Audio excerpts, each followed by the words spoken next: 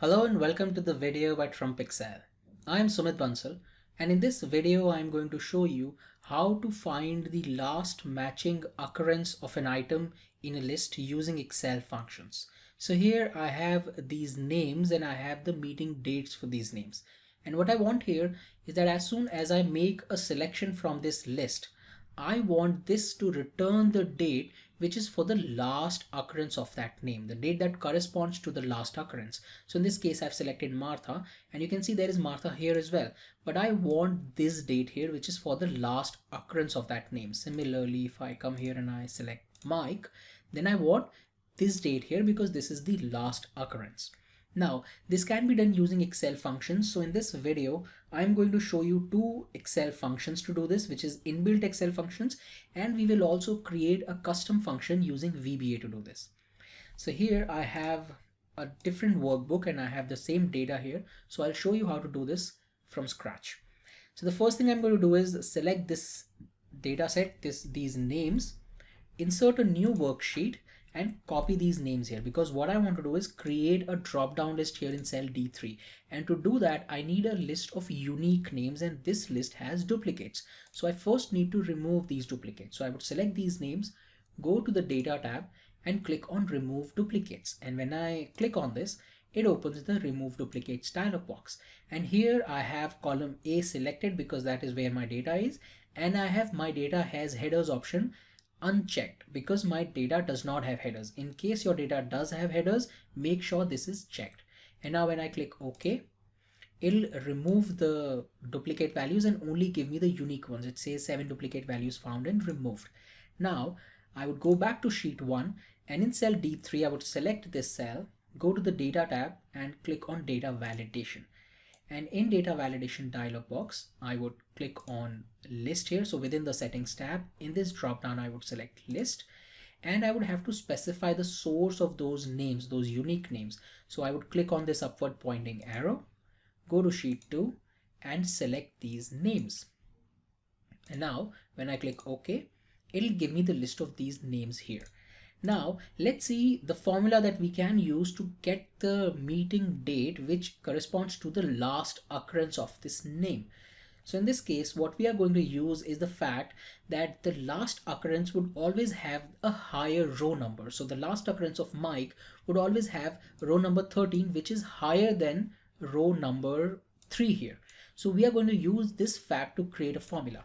So the first thing I'm going to check is what all cells here have the name Mike. So I would select this entire range of cells, press F4 and equate it to this cell here, which is D3. Now, if I select this and press F9 to see the result of this part of the formula, you can see it gives me an array of trues and falses. Here, a true would be whenever there is a matching name and false when there is no matching names.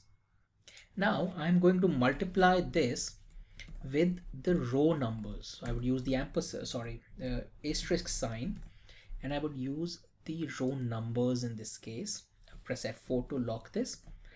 And this part of the formula, the row part of the formula, would return the row numbers of these cells. So when I multiply this with an array of trues and falses, it would return this data set where it is going to give me the row number of uh, the matching name. So whenever there is Mike, it would give me the row number, else it is going to give me zero. Now I can find the maximum or the highest row number by using the max function here. And now when I hit control shift enter because this is an array, it is going to give me 13 because 13 is the row number where we have Mike. And let's see if this works for all the names. So if I select Glenn, it gives me 11 so this is working this is giving me the maximum row number or the last row number where there is the last occurrence of the name but this is the row number in the Excel workbook. This is not the row number in my data set because my data set starts from the second row onwards. So I would have to subtract one from it. But before I do that, I'm going to wrap this within sum product so that I don't have to use uh, control shift enter. Now I can simply use enter and it will give me the right result and let's subtract one from this. So this gives me 10 which means Glenn is in the 10th position in this data set. If I come here and I select Jane, it gives me 13 which means Jane is in the 13th position in this data set. And now I can simply use index function. So this would be my array. I would press F4 to lock this. And this part here, the sum product formula, which was returning the position, would act as the row number, the second argument in the index function. Now when I hit enter, it gives me this number, which is the date serial number. I can go to the home tab and here I can click on short date and it will give me the date here. Let's see if this is working. Jane, it returns the right date. Let's check for Mike. It's giving 16th, which is again right. Let's check for Scott. It's giving 9, which is again right. So this formula is working and this is how you can use the fact that the last occurrence would always have the highest row number and then use this to fetch the date. Now let's see another formula of doing this and this would be the lookup formula. So a lookup formula takes three arguments. The first one is the lookup value, the second one is the lookup vector, and the third one is the result vector.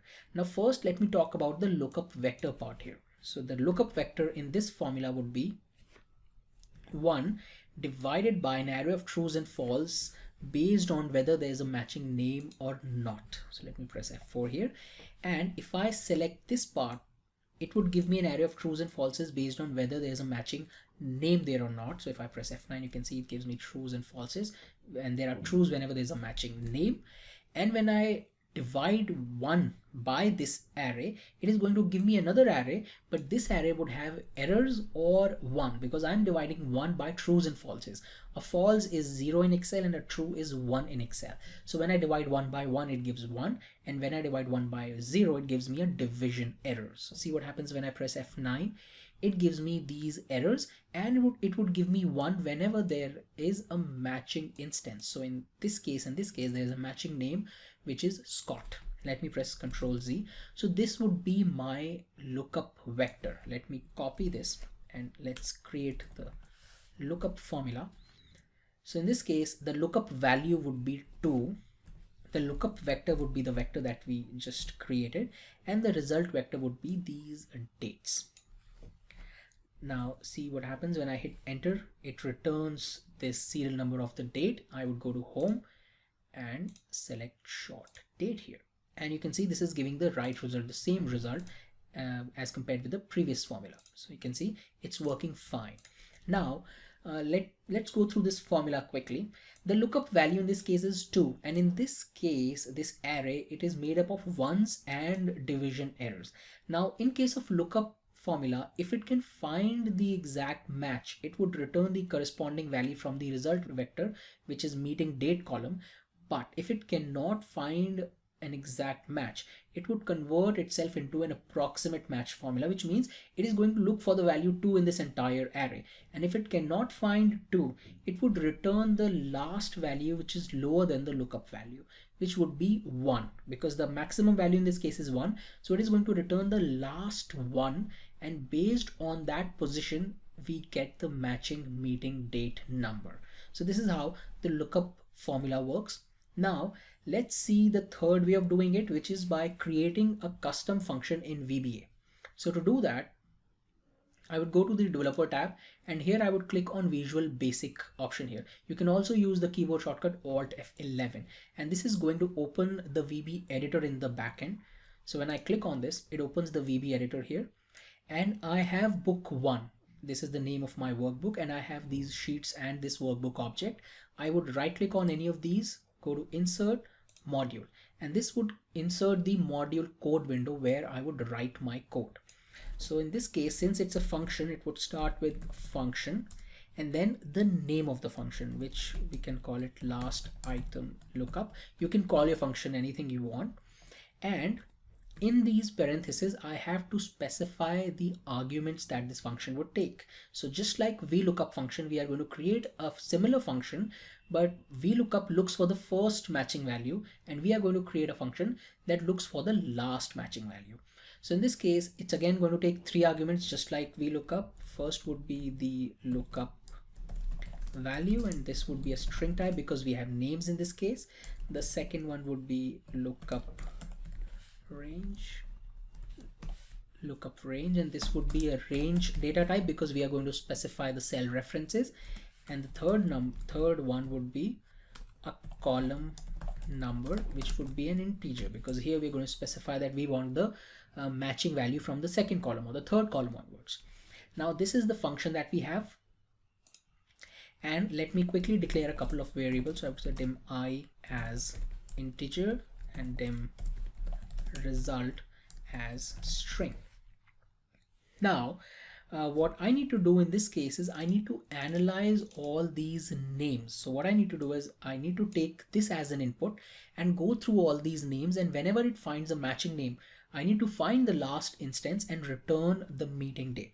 So what I'm going to do with this VBA function is I'm going to go through these names, but instead of going uh, through these names from top to bottom, I'm going to go uh, through these from bottom to top. So as soon as it finds the instance of Glenn, when it's going from bottom to top, it would return this name, uh, this uh, meeting date and exit the function. So it essentially what it does is it finds only one matching name, but because we are going from bottom to top, it becomes the last instance of that name. So here I would use for i is equal to because I'm going to run uh, a loop here and I would say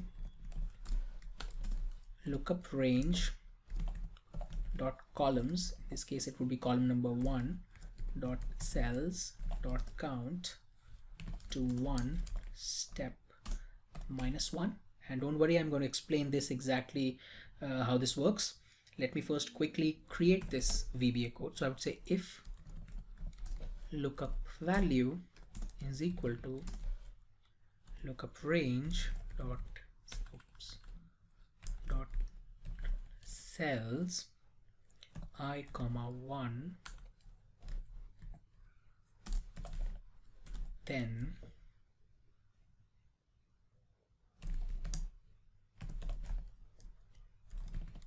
last item lookup is equal to lookup range dot cells i comma column number now I would come here and I would say I'll have to exit the function in this case. I would say exit function come here say end if next i.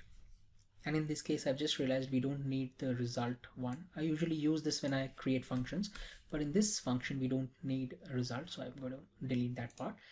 And now let's see if this function works or not and then I'll explain how this works. So I would look for the function which is last item lookup and you can see uh, shows up in the IntelliSense in the list of functions. And the first argument would be the name that I'm looking for, which is uh, in D3. So I give the cell reference for that. The second is the range, the lookup range, which would be this one. Let's press F4 to lock this. And the third would, would be the column number. So since we want the date from the second column, 2 would be the column number. And now when I hit enter, it returns the serial number. I would go to home short date and it gives me this. And let's see if this is working fine. So I select this one and you can see all these formulas are returning the same result. So this formula is working well. Now let's go back and see how this formula works. Uh, it's a very short code here where our function takes three arguments and what we are going to do is we are going to run this loop. And how many times should we run the loop? We would run this by first counting the number of cells here in this lookup range. So in the first column we we first count the total number of cells. So this is done by this part here lookup range dot columns dot cells dot count. So this would give me 13 here because there are total 13 cells here. And this loop would run from i is equal to 13 to 1 so instead of running this loop from 1 to 13 i am running it backwards and i've used step minus 1 what this allows me to do it instead of going from top to bottom it allows me to go from bottom to top and now it simply does one thing it checks whether the lookup value which is this value here is equal to this cell's value. If it is then it'll uh, give me this date and exit the function. And if it is not then it'll keep on going. So in case of Jenny, it'll first check with Jane, then it'll go to Mike, then Scott, Glenn, and until it finds Jenny, it'll keep on going. And when it finds Jenny, it'll return this date here, this value from this second column, and it would exit the function. So this is how this VBA code works. Now, when you have a VBA code, you need to make sure that you save the workbook as .xlsm file. And when you have the code in the backend, you can use this function in any of these sheets anywhere, just like any uh, other regular function. So in this video, we've seen three ways of finding the last matching occurrence of an item in a list. Uh, the first one was using sum product index and rows formula. So we found out the maximum row number and we found out uh, the matching name and the corresponding date. The second one was using a lookup formula and the third one was using a custom VBA function. That's it in this video. I hope you found this useful. Thank you and have a nice day.